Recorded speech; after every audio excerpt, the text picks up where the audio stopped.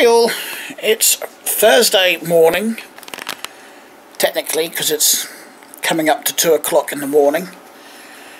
And I'm doing this vlog because I've had fun and games for the last few days. And I've actually lost the footage for the videos that I'd done previously, so start again, that's the easiest option. Anyway, what I'm going to concentrate on in this particular video is this. As you can probably tell, it's not my normal computer. Well, I'll tell you the story. Uh, last week, a friend of mine bought this for himself for just £10 from another friend of his because, as far as his friend was concerned, it was, well, fucked, basically. To put it bluntly and uh,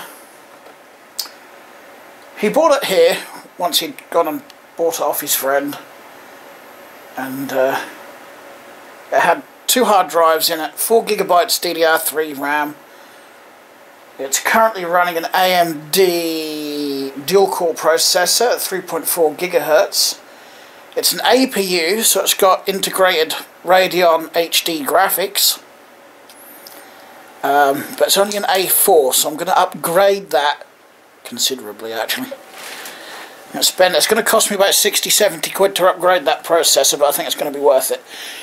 Anyway, going back to the story. He also traded previously a laptop, which is over here, with me. This, little, this nice silver HP. Don't know if it works, I haven't got a power supply. It doesn't take your, you know, your generic round plug. It takes some sort of weird ass round plug that I don't have. I've got the right voltage, just not the right plug. So it's not too expensive, so I think I'll gamble. If it doesn't work, I'll just throw the whole thing on eBay, spares repairs.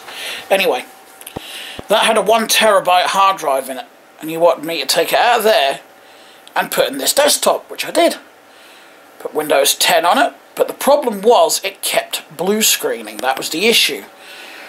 And even though he took it home and it was working, it still kept blue screening. But he seemed happy with it anyway, you know, because he said once it had gone through its, you know, repair cycle, whatever, it would be fine after that, so... Anywho, a couple of days, literally at least two days after I'd done this for him, he messages me on Facebook and asked if I wanted to swap it for my PlayStation 3. At first I was re reluctant because I do, do like my PS3. But uh, in the end, as you can see, I did agree to the trade. Um, and I'm actually glad I did. Uh, and I've already done a couple of upgrades to it and fixed the blue screen problem. Touch wood, knock on wood, whatever sign you want to use, I don't want to talk it up. All I did, I did a bit of digging around on Google and um, found an unrelated topic to the issue, but it was related to the BIOS, where they just dropped, took the battery out of the motherboard, left it a couple of hours and put it back in. So I took it out of, out of that one left it an hour, put it back in, and so far, like I said, touch wood, it's not done it. Um,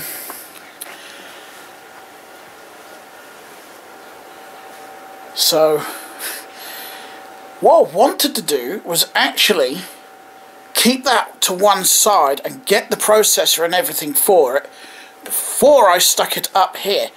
And yes, I am still going to go ahead with the other build although I'm not going to be using that case, that's going to go back to my brother.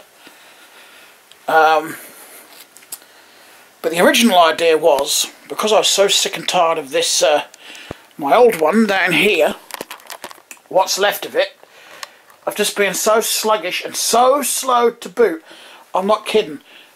My routine was to get up in the mornings, go to the lounge, turn a computer on, go take a pee, come back, sign in, come in here, get dressed, and if I'm lucky, it would have been booted up enough for me to start using it. So a good sort of five to ten minutes to boot up, you know, that was ridiculous. But I guess just after so long I'd gotten used to it. But it was, so I just thought yesterday, sod it, I'll take that old hard drive out because the hard drive in it is pretty high mileage now. And I was going to use the 320 gig that came with that other computer. Installed it on there. Uh, and I can't remember, there's a few issues I was having. I don't know what to get some videos edited and I couldn't find an editor because obviously Windows 10 doesn't come with Movie Maker. And due to my funds and lack of power on machines, it's pretty much the only thing I can use to edit. But uh, I have resolved that issue now. I'll come back to that. So, I went to put my other hard drive back in this machine and it wouldn't boot properly. Something had corrupted the OS on it somehow. And literally all I did had taken it out of this machine and then I'd only reconnected it as a second drive to transfer the folders across that I wanted. Just a couple of music folders and a couple of uh, picture folders and whatnot. And that was it. That's all I did. so I actually don't know if that hard drive is actually on its last legs or if the OS had just got corrupted somehow and didn't want to boot properly. So I decided, sod it build that one up. So that's what I did. I put my 8 gigabyte stick in it, a 750 watt power supply out of this one in it, and the video card obviously, because that's all I've got to use at the moment. Um, like I said, I'm still going to do this project and this motherboard, that's still going ahead. So, I do still need the power supply. Um, Mark Hyde has got one for me, I will still need it. Um, I'm not actually sure what I'm going to do with that one yet. But anyway, I totally lost track of I, where I was. yeah, so I stuck everything in there. Tried to install Windows and it wouldn't. Wouldn't boot from CD even though I'd gone into the BIOS and, you know, set it to boot from disk first. So I took the hard drive out, brought it back in here, jury rigged this thing together and installed Windows 10 on here. And uh, the first time I did it went, you know, nice and smoothly. Because this, this is actually one of the other issues I had. I'd done it and this is actually why I was going to use my or go back to temporarily using my old hard drive because I was going to sort it out today but that didn't go to plan. Because uh, I'd installed the wrong OS on it. I'd installed a 32-bit not a 64-bit and as such it wasn't recognizing or using all of my um, 8 gigabyte stick so I thought sod it can't be bothered to reinstall Windows now because I'd actually before I'd actually realised what I'd done, I had started to, you know, pretty much redone all my bookmarks and reinstalled all the programs I use. You know, I'd got almost completely finished with the rebuild. So I really wasn't in the mood to reinstall Windows again. yeah. Which is why I was just going to say, right, sod it, I've got some videos to do, I'll just use my old hard drive, but that plan didn't work. So in the end, brought the hard drive back through here because it wouldn't boot on that one from the disk. Installed Windows 10 64-bit. The only reason I made that mistake though is because the disk I used had 64-bit written on it. But it wasn't. It's a 32-bit system on the discs. No good. But anyway, it didn't actually take me long to redo it. I suppose because I knew what I was doing by then.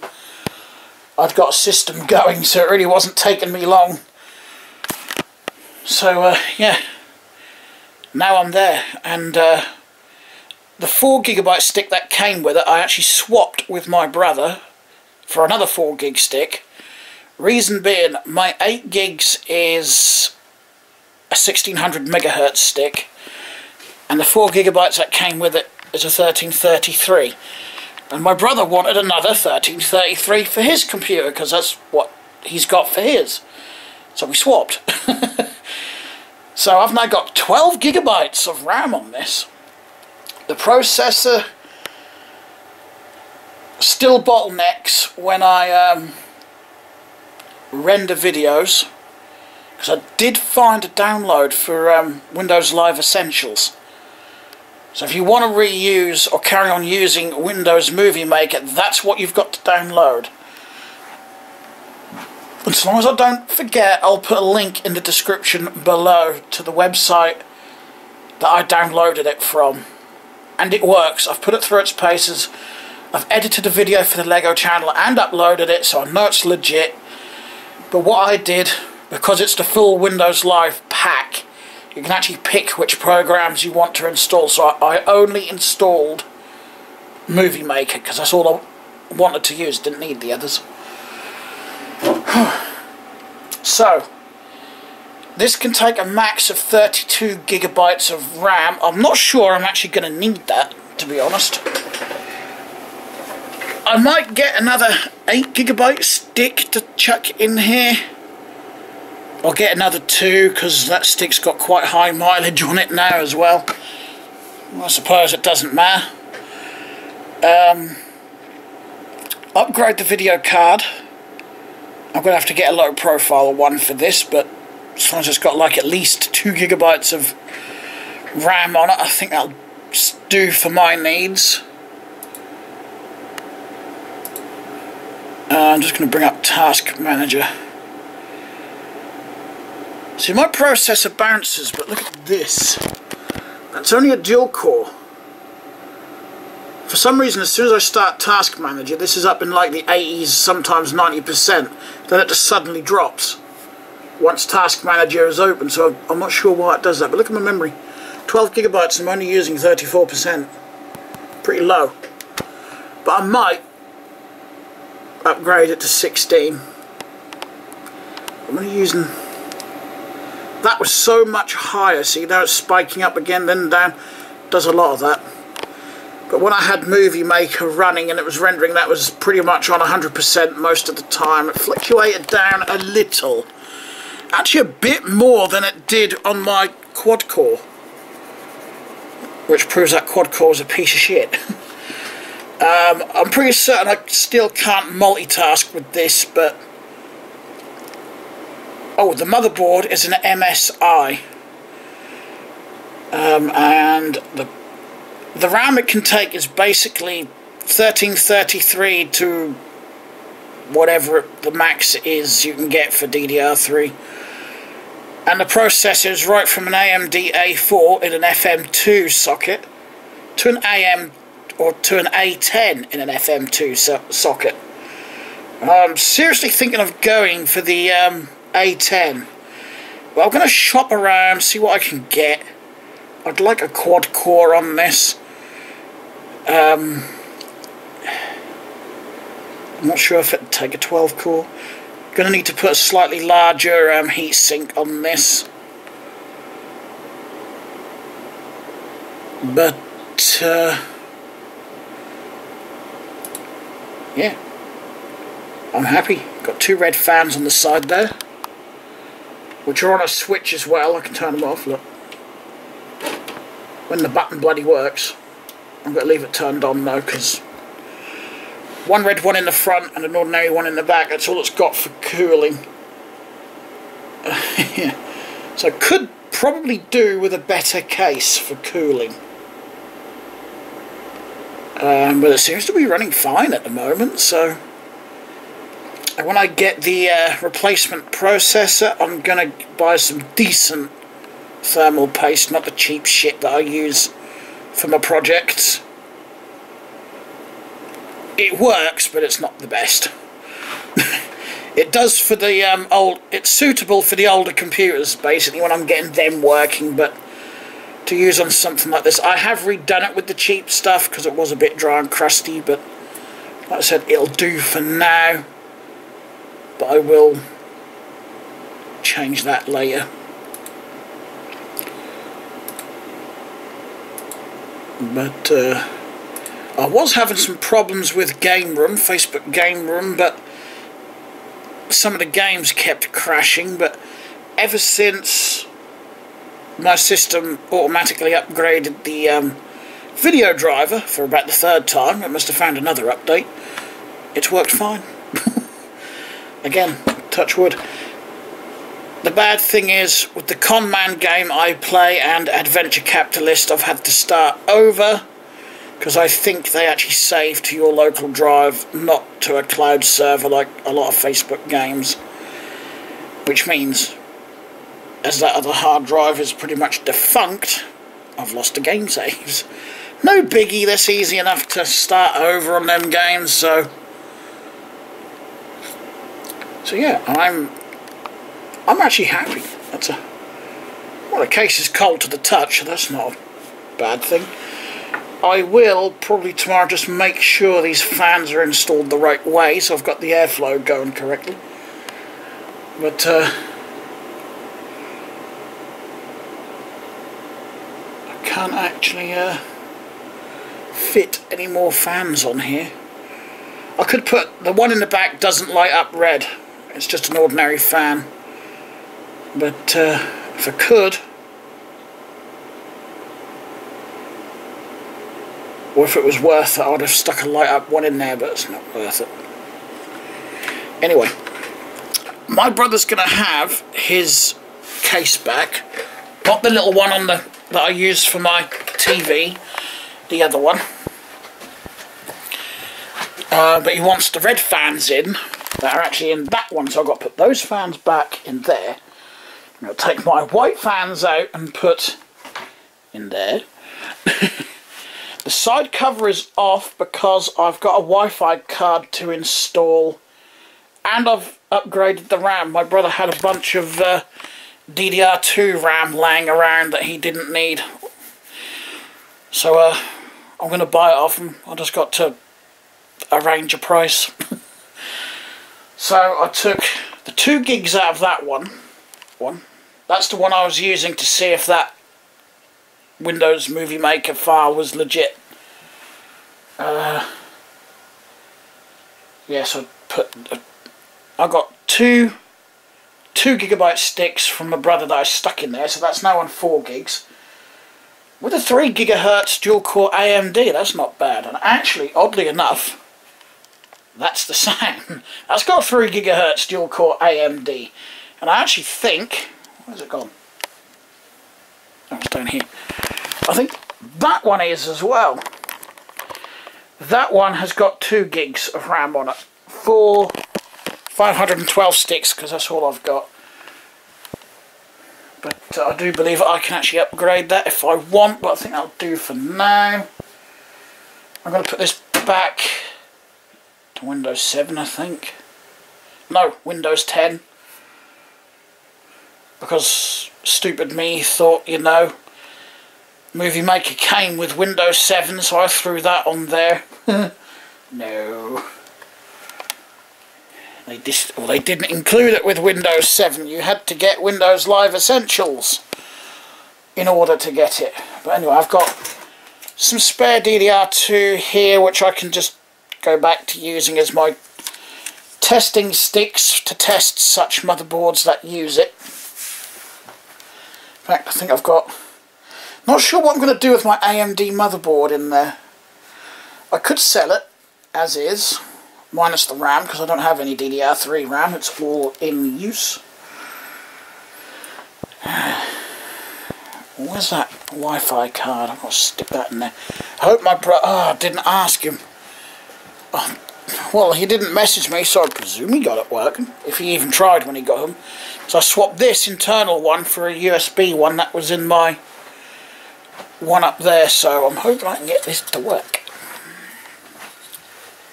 Well, I know it works because my brother used it, but I don't know if it's going to work with Windows 7. You know, if it'll just install as it is, or if I'm going to have to piss around trying to find drivers. That's what I like about installing Windows 10. You know, if you've got something like this. Not all of them. I have had a. I've actually got one over here that it didn't work on Windows 10 which I was actually surprised at, but yeah. You know, I got two of these. I don't know where the other one is, but I got two of them. I couldn't get them to work on Windows 10. But, uh, this one does when you install it, but what I'm saying is I find with Windows 10, if you've got your computer connected to the internet, or you've got a Wi-Fi thing on it, it'll automatically download any and update drivers for you, for your video card. You know, and like I said, nine times out of ten I've installed Windows 10 on a laptop with Wi-Fi, not had to worry about audio drivers, Wi-Fi drivers, video drivers. It's all done it for me, and that's what I actually like about Windows 10. It saves so much work. You just got to sit there and click with the mouse. That is it. Right. Oh, Mark Hyder messaged me. Have you got any spare fans? Nah, not really. Although I've got three set aside here, which I've got to post He's got good brand. He's got some good brands in here. He's got Cooler Master and he's got Gigabyte. Yeah, I'd have liked to have kept them, but what the hell do I need them for? All them ones there. The only reason I've picked these three is because they've all got the connector he needs. The, those ones are either either haven't got a connector on, like that one, or I've got the wrong connector on. Look at the size of that one. You know, they've got the Molex connector on but uh, I do believe he just needs these ones so that's why I've picked those and set those aside he's having overheating problems. So do you know it took me 14 hours yesterday or for 14 hours I was messing around with that poxy computer. Two computers I was fighting with. I won. I got that one working. I won the fight. But damn, I've just been feeling mentally drained all day. It's horrible. So I actually think I might go to bed very soon. So yeah, very long, very computer related video. So anyway, thanks a lot for watching. And uh, I will talk to you again very soon. Bye.